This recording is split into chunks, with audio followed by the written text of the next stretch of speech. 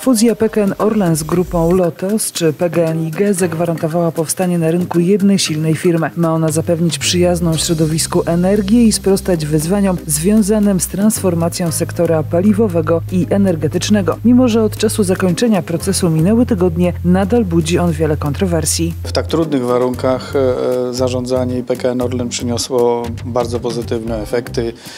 Mamy wielkie ambicje, aspiracje rozwojowe dziesiątki miliardów przeznaczone na inwestycje, mm, kontrakty z najpotężniejszą firmą y, petrochemiczną na świecie, Saudi Aramco, która dysponuje najnow najnowocześniejszymi technologiami, z których skorzystamy.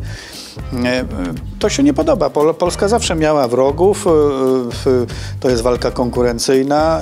Wielu się to nie podoba, że wyrastamy tu na potęgę, na liczący się podmiot, że ten tort lukratywny E, kawałek jednak jest dla Polaków i dla Polski.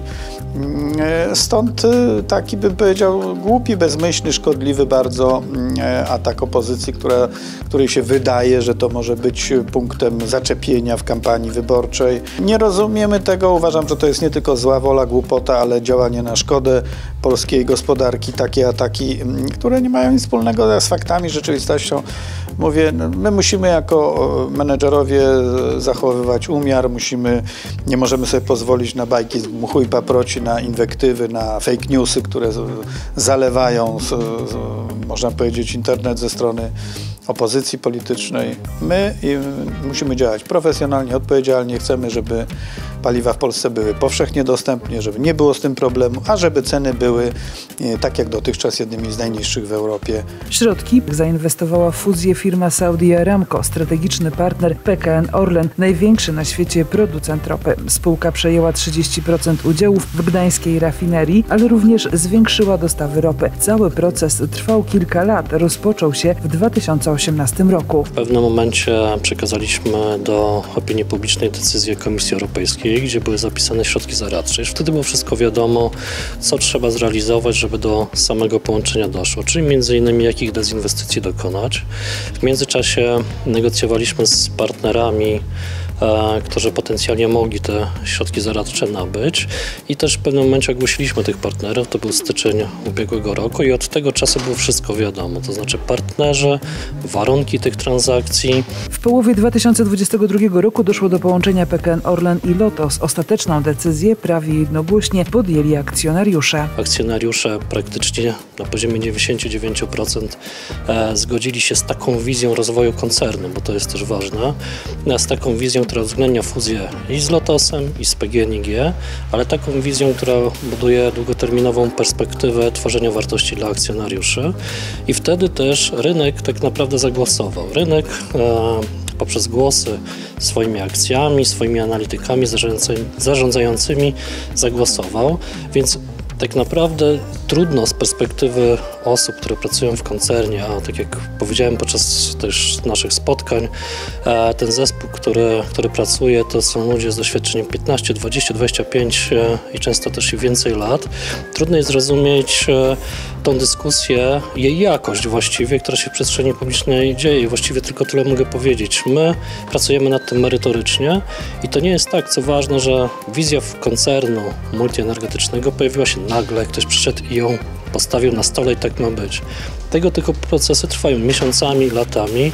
Do tego są zaangażowane międzynarodowe firmy doradcze, bo my czerpiemy z najlepszych światowych praktyk. Fuzja PKN Orlen z grupą Lotos czy PGNiG, a także współpraca z Saudi Aramco daje ogromne możliwości rozwoju. Fundamentem zarówno strategii Orlenu, ale też i długoterminowej wizji i tych fuzji przy okazji było to, żeby zbudować wartość w trzech filarach. Pierwsze to jest bezpieczeństwo energetyczne, czyli zapewnienie dostaw kluczowych dla gospodarki surowców i produktów paliwowych, a na końcu tak naprawdę przy transformacji energetycznej zapewnienie różnych nośników energii z, nie, z każdego źródła, które jest dostępne, ale takie, które odpowiada też wyzwaniom transformacyjnym. Drugi filar to właśnie transformacja.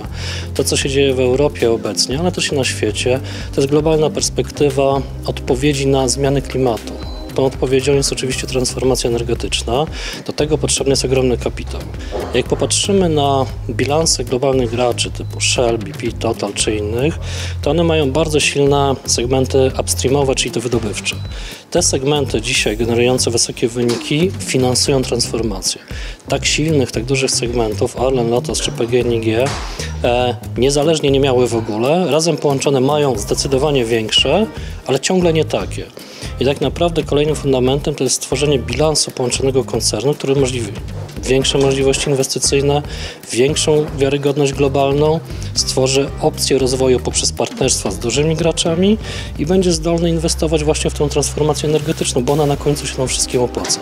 Trwająca naganna retoryka opozycji to działanie na szkodę przyszłych potencjalnych inwestorów w Polsce, zaznacza Jan Szewczak, członek zarządu do spraw finansowych. W żadnym innym kraju e, przedstawiciele opozycji nie, można powiedzieć, nie atakują własnych największych koncernów, zdając sobie sprawę, że są to niezbędne dźwignie rozwoju. To tylko w Polsce jest taki zły obyczaj. Mm, I, i, trzeba ważyć słowa, trzeba wiedzieć, że to wpływa na ratingi, że to wpływa na notowania giełdowe. Mm, e, to chcemy, żeby do Polski przychodziły duże, potężne firmy, żeby z nami współpracowały e, i trzeba tych partnerów szanować, a nie e, atakować w sposób bezmyślny i bym powiedział niezwykle szkodliwy. Ostatnie miesiące 2022 roku koncern zamknął dochodem na poziomie ponad 19 miliardów złotych. Zdecydowana część tej kwoty to środki zarobione na inwestycjach poza granicami kraju. Dochód ze sprzedaży paliw wyniósł jedynie 4% tej kwoty. Rocznie do budżetu państwa wpływa ponad 44 miliardy złotych podatku PKN Orlen. Do tego dochodzi wsparcie setek działań realizowanych przez Fundację Orlen. To także rozwój tysięcy lokalnych działań, na które przeznacza setki milionów złotych.